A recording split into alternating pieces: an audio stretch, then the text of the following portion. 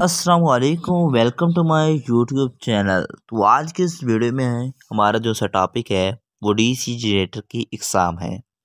यानी types of DC generator DC generator की दो इकसाम हैं, एक फ़ील्ड एक्सटेशन के लिहाज से इकसाम है, एक कनेक्शन के लिहाज से इकसाम है।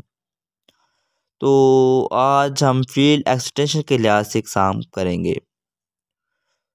डीसी जनरेटर के पोलों को बरकी मगनातीस बनाने के लिए इन पर फ़ील्ड कोयल्स लपेटे जाते हैं।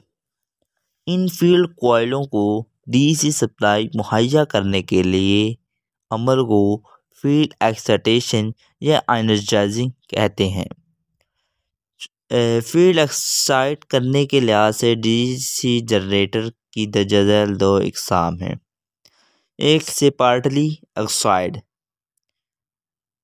ऐसे जनरेटर जिनकी फ़ील्ड कॉइल्स को एक्साइट करने के लिए किसी बैरूनी ज़रिया, मसलन के बैटरी वगैरह से डीसी सप्लाई मुहैया करने के अमल को स्पार्टली एक्साइड जनरेटर कहलाते हैं। ऐसे जनरेटर को कम वोल्टेज या ज़्यादा करंट के होते हैं। इन्हें इलेक्ट्रोप्लेटिंग बैरी जहाज़ों धातों की इलेक्ट्रो रिफाइनिंग मोटरों की ऑटोमेटिक को कंट्रोल सिस्टम में इस्तेमाल किया जाता है। अब हम पढ़ेंगे सेल्फ ऑक्साइड यानी सेल्फ ऑक्साइडेड ऐसे जनरेटर जो अपनी ही पैदा करदा डीसी सप्लाई से फ़ील्ड कोयल को ऑक्साइड करें। इन्हें एक्साइट करने के लिए किसी बैरूनी सोर्स की ज़रूरत ना हो। ये होते हैं सेल्फ ऑक्साइड जनरेटर कहलाते हैं। यानी पिछले में हमने पढ़ा था कि स्पार्टली एक्साइट क्या करते हैं? ऐसा जनरेटर जिनकी फ़ील्ड कोयल को एक्साइट करने के लिए किसी बैलूनी ज़रिया मतलब बैटरी वगैरह से डीसी सप्लाई मुहैया करें, वो स्पार्टली एक्साइड है। सेल्फ एक्साइड क्या था? ऐसा जनरेटर जो अपने ही पैदा करदा डीसी सप्लाई से फ़ील्ड कोयल को एक्साइट करे और इन्हें एक्साइट करने के लिए किसी बैरूनी सोर्स की ज़रूरत ना हो मतलब कि बैटरी की जिसकी ज़रूरत नहीं होती।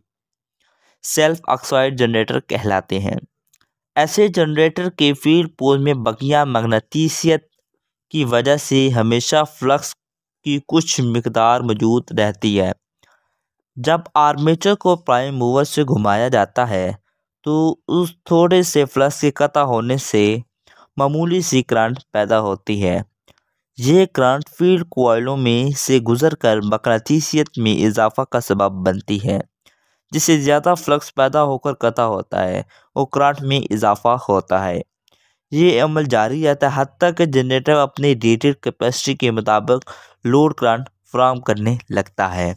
तो नेक्स्ट वीडियो में हम आपको कनेक्शन के लिहाज से जनरेटर की इकसाम के बारे में बताएँगे।